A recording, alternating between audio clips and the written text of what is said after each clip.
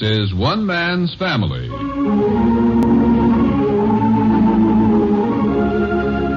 One Man's Family is dedicated to the mothers and fathers of the younger generation and to their bewildering offspring. Today, transcribed, we present Chapter 6, Book 72, entitled Rex Frome Invades the Barbours. Any conversation in Seacliff these days will eventually drift around to the new neighbor in the old Middleton house, two doors over from the Barbour family home. Rexford Frome, son of Judge Middleton's one time gardener, has returned to the scene of a bitter boyhood, and wonderful things are being done to the long neglected mansion. All the neighbors, save one, are watching with fascinated interest. Father Barbour, after one unhappy encounter with Mr. Frome, maintains a studied indifference. Notice him now, for instance. Returning home from his afternoon walk, he moves past the Middleton place, looking neither right nor left. Once safely beyond it, he allowed his gaze to shift oceanward, where high seas are running under a gray fall sky. Inside the family home, Hazel has stopped by for a moment's chat with her mother before the cheerful open fire in the library. So I told Pinky his enlarged vocabulary would be more impressive if the new words were correctly pronounced. I thought I heard your voice, Hazel. oh, hello, Father. Come in, Henry. We're having a cup of tea. Yeah, well, chilly day out. Definitely fallish. Yeah, Hazel, my dear, how, how are you? Oh, Mother, look at the color in his cheeks. Nothing like a long walk to stir up your blood. Ah, that's a nice fire. Let the gray days go. I, I always think this is the coziest room in San Francisco. Some tea, Henry? Thank you, lady. Hmm, aromatic. Ooh, hot. Hmm. Uh, what were you saying about Pinky Hazel? I haven't seen the boy lately. Well, he's a busy boy, Father. First a new girl, and now he's gardening for Mr. Frome. Oh, is he indeed? Why, yes, Father. Why? Nothing, nothing. I was telling Mother about his new vocabulary. His new girl, Iris Rand, gave Pinky a battered copy of a thesaurus, and he comes up with some perfectly astonishing words like metamorphosis, only he calls it metamorphosis. Metamorphosis. That means a, a change through a, through a wizardry, doesn't it? Very good, Father. Well, it's not a word I'd use every day. How did Pinky happen to pick it up? Oh, we were talking about the wonderful things Mr. Frome's doing to the old Middleton place. Yeah, room. The new driveway and the painting and the shrubbery. Of course, he's just pouring money into it. Dan says we could all bring about a metamorphosis if we could toss money around the way. Why, Father, where are you going? Huh? Oh, oh, yes. Uh, pardon me, Hazel. Uh, this this wool shirt is much too warm. I'm, I'm going to change it. Uh, excuse me, if you please. Well, what's the matter with him?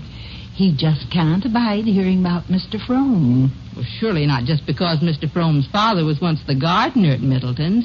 But we think it's wonderful that he could come back and buy the old place and do what he's done. And so do I, Hazel. Henry resents the fact that he's changed his name. Oh, you know your father. If the man was named Hans Froelich, he should be have stayed Hans Froelich. Well, I just stopped mentioning anything about it. Oh? Confidentially, out of your father's hearing, I'm as interested as anyone. My friend Emily Stewart is simply glued to her front window. she says some really beautiful furniture's arrived over there, even a big grand piano. well, if I lived across the street, I'd probably do some peeking, too.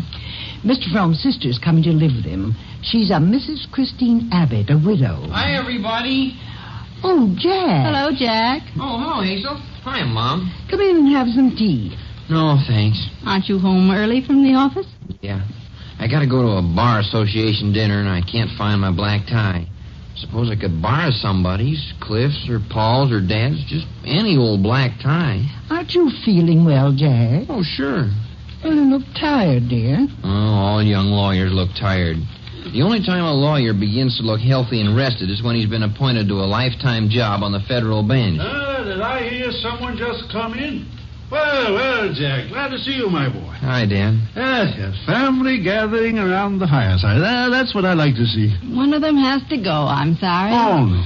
Sorry, Father. Dan has to have an early dinner tonight because he's going to a meeting. Meeting? I've never seen anything like it. The way this country has taken to go to meetings. Well, what in the world do people do at these meetings? They vote to increase the annual dues. Yeah. I've got to go to a meeting myself, Dad. That's why I'm here. I've got to Pardon borrow. me, it. Jack. I've really got to go. Thanks for the tea, Mother. Bye, Father. Goodbye, my dear. Jack, Oh, bye, Hazel. cheer up. It's rarely as bad as it seems. Oh, I'm okay. Uh, Father, if you hear anything about a $5 tip Pinky got for gardening over at Frome. What, what's this? You haven't heard about it? Well, never mind. It isn't important because we made him take it back. Well, I should think so. A five dollar tip. Well, goodbye. Bye. Goodbye, my dear. Yes, yes. I tell you, that man's a nuisance in this neighborhood. Now, Dad. Don't now dad me. I tell you, this fellow has interfered with the even tenor of our ways. He- He's sneering at us, and most of you haven't the good sense to see it. Well, you've heard about the thousand dollar wristwatch he gave Joan, didn't you? Well, he knew we'd make her take it back. It's to humiliate us. He's avenging some fancied wrongs from his boyhood. Why, I don't even remember the boy when he was was a lad. And his old father, the gardener, I can hardly recall him either. Yes. If in the past sometimes I slighted that old gardener, I'm sorry, but I didn't know I was slighting him. But there was hardly any understanding him. He was an immigrant, you know, Jack. He had the thickest German accent. It was Austrian, Henry. They speak German in Austria, Fanny. It was a German accent.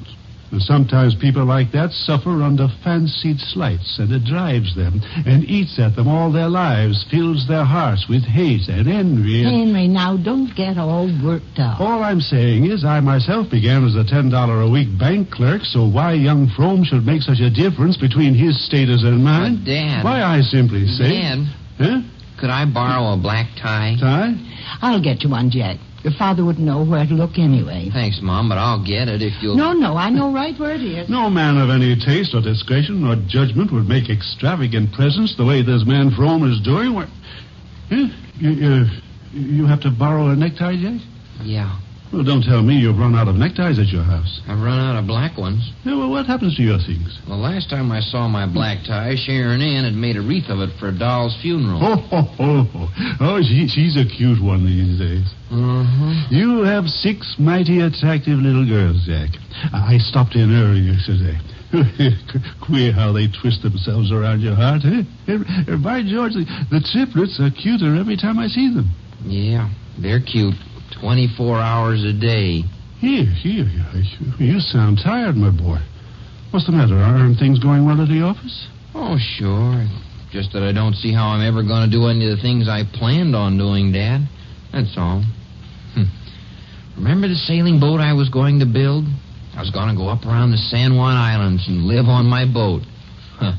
If I ever get around to doing that, I'll be too old to pull up a sail or handle a rudder. Now, now, Jack, every man gives up some of his boyhood dreams. That's part of growing up. Oh, sure, I know. I realize that. These days, I guess you're lucky if you're breathing. Ah, now, something's happened. Tell me, you you hard up, son? You, you need a little money? No, no. Thanks just the same, Dad. No. No, I don't want to add debts to my other worries. Huh? You know what's really wrong with me? I've got to apologize to Betty when I get home, that's all. Huh? It wasn't her fault I couldn't find my tie. Oh, oh. Yes, yes, yes. I see, I see. I, I, I know that situation, my boy. I, I know it very well. Here you are, Jack. It's Paul's tie. But why did you go all the way upstairs to Paul's room, Fanny? Jack could have had mine. Well, I knew Paul had several. Clifford has only one, and yours are old-fashioned. Is? Old-fashioned, is he? Will that do, Jack? Yeah, thanks, Mom. Thanks very much. You'll excuse me. I've got to see about dinner. Tell Betty I'll come over after a while and help Nicolette put the children to bed. Okay, thanks for everything. Well, Dad, I run along. It's nice to have this talk with you. I don't see you alone very much. Uh, boy, now, don't try to deceive me. If you've got something really worrying you, why don't you come out with it and see if I can help? What isn't much of anything, Dad? Just a series of little things. The tie was a last straw, that's all. Yes, yes. It's just that I had one of those left-handed days downtown, you know. My car acted up coming home. Then on the way into the house, I happened to see Mr. Frome. Huh? We were talking about the high seas running out there and sailing and so forth, and he happened to mention he's building a boat. And he's going to sail to San Juan Islands next summer. Confound the fella. Don't you see what he's doing, Jack? He's upsetting us one by one, all of us, Pinky and Joan and, and Claudia. Claudia's taken to going for walks around the block. Yes, drops in here twice as often as she ever used to. Well, Dad, she's just lonesome because Nicky's away. No, no, no. He's intruding on all of us, everybody. That's all I hear. Frome, Frome, Frome. I never do have a conversation that doesn't finally get around to Rexford, Frome, or even Clifford. Where is Cliff today? Oh, he had to pick up Andy at the junior monitors meeting. Uh, yes, uh, meetings. Even the little children have to go to meetings. Dad, I- I've got to run along. Yeah, yes, yes. Well, well uh, you come again whenever you feel a little depressed, Jack, eh? We'll cheer you up over here. Yes, yes. Well, I- I'll go to the door with you. This talk did me a lot of good, Dad. Yeah. Ah, there's quite a little breeze out. Oh, Grandfather! Oh, Grandfather! Huh? Margaret, where is she? Hmm, Here she comes around the hedge. Well, see you later, Dad. Hi there, Margaret. Hi, Uncle Jack. Your grandfather's waiting for you. Yeah, I see him. Hi, Grandfather. Looky, I brought you something. Henry, what in the world? You'll catch your death without your coat out here. Come in the house. Hello, Grandmother. Look, Grandfather, I brought you a present. Come in the house, both of you. That wind goes through you like a knife. Oh, come in, come in. What in the world have you got there? Just wait till I unwrap it. It's something wonderful, and I made it. Well, well, well, a gigantic cake.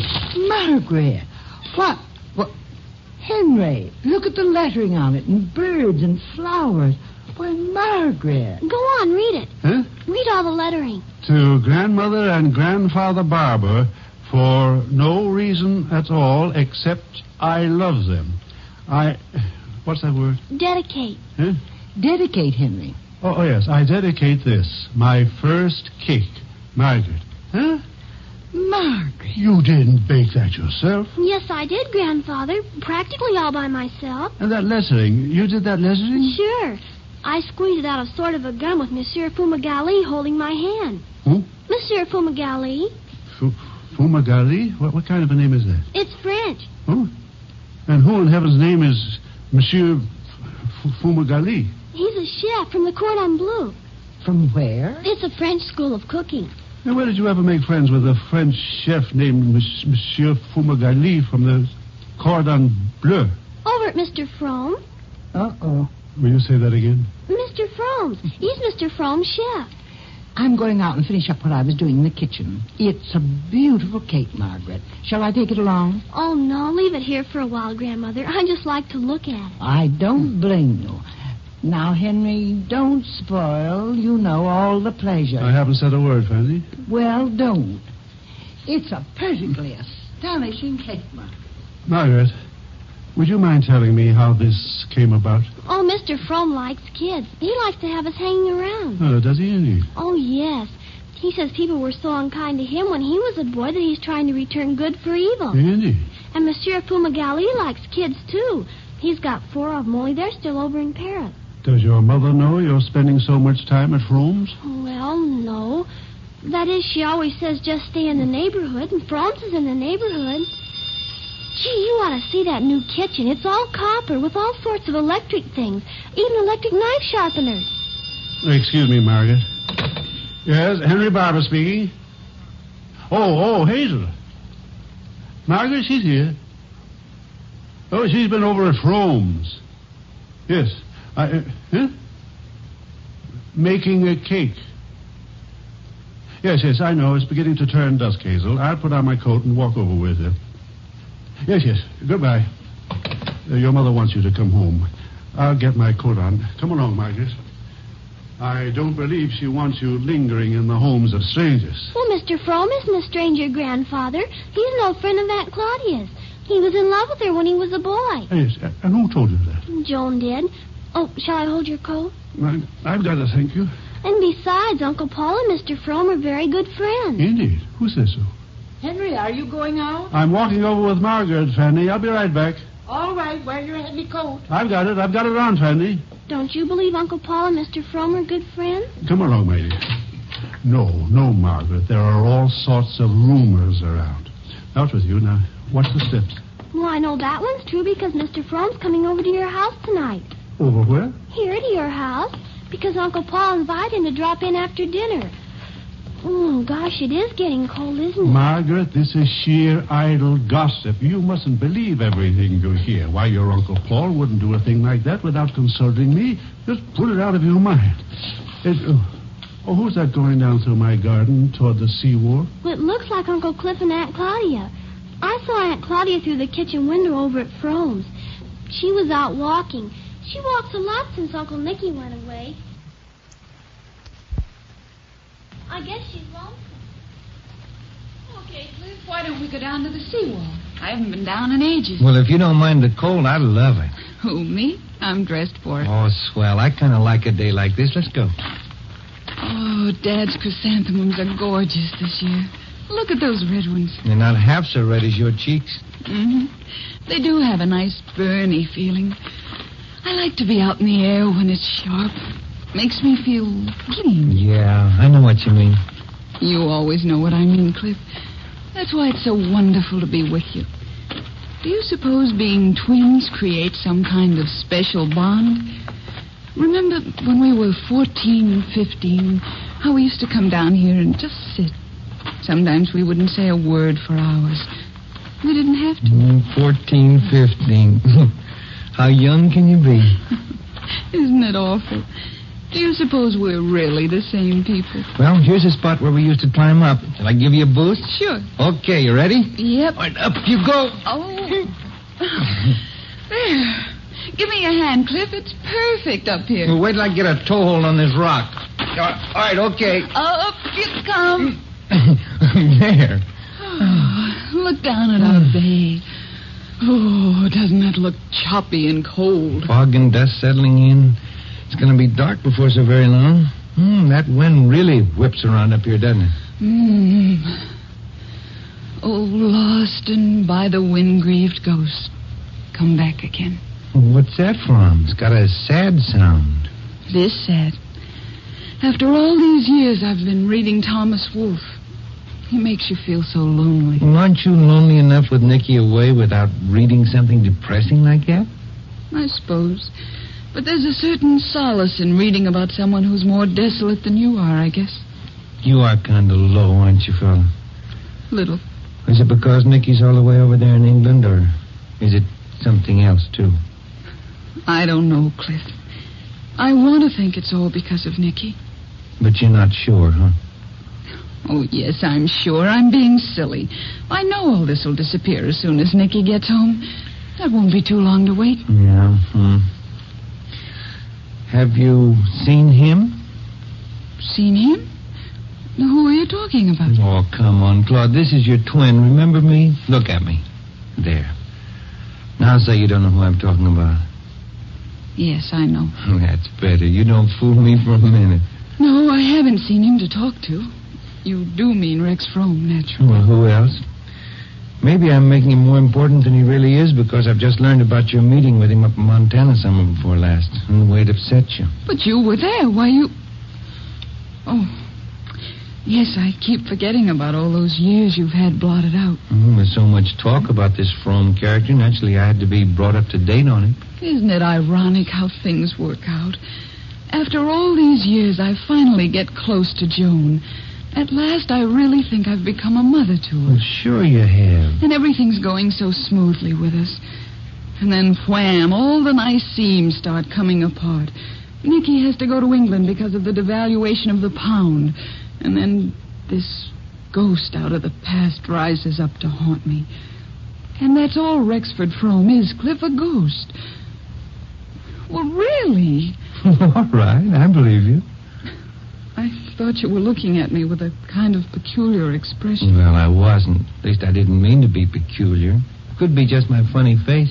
Oh, silly. What I mean is, I don't really have any doubt about my love for Nicky. And Rexford Frome is nothing to me. Nothing. Not anymore. I know that, but. Oh, I don't know. What is it anyway? What's what? This uncertain feeling I have. Is it that I don't trust myself? Is it that I must always carry with me a lost feeling?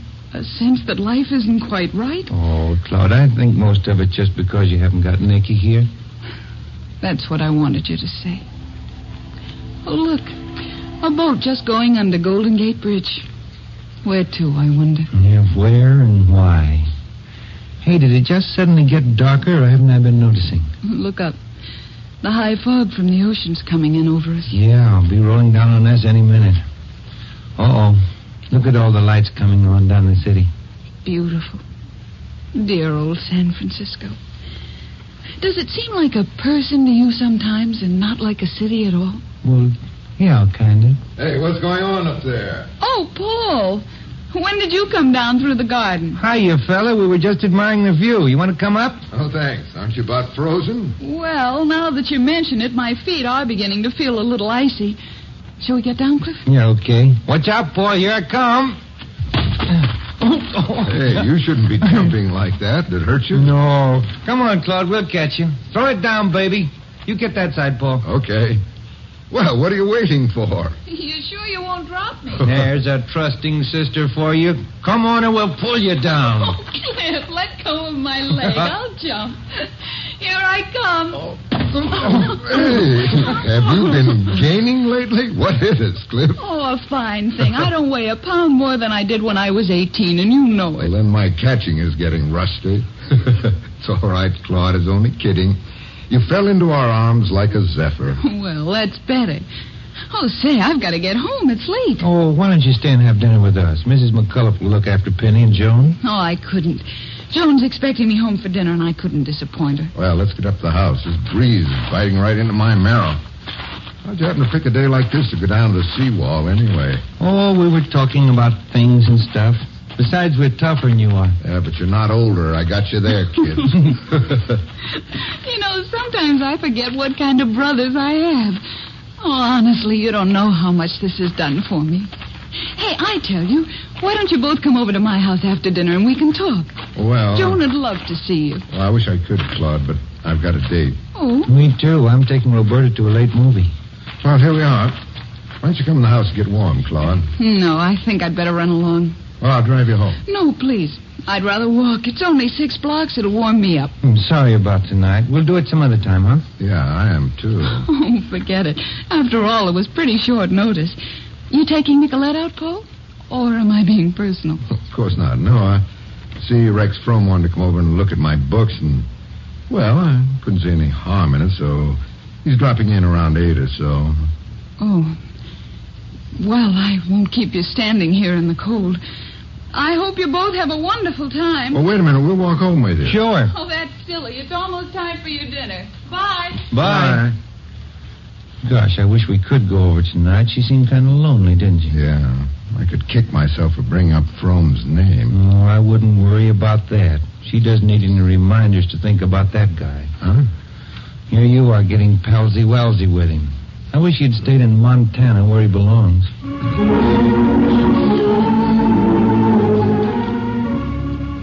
Along about eight o'clock, Cliff came downstairs to say goodnight on his way out for his date with Roberta.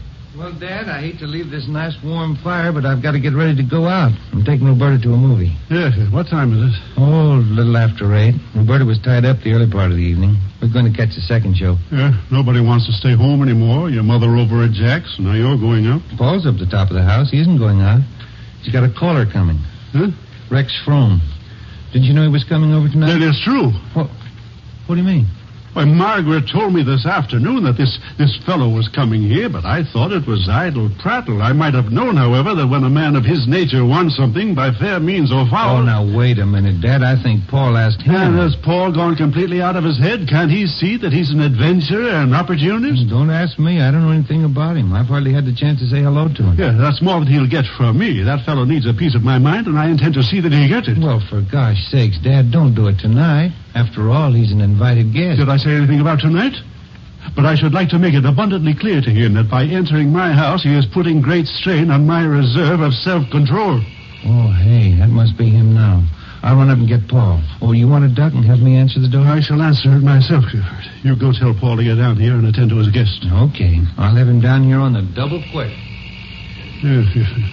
Listen to that imperious ring. Ought to let him cool his heels soon would. Well, how are you, Bob?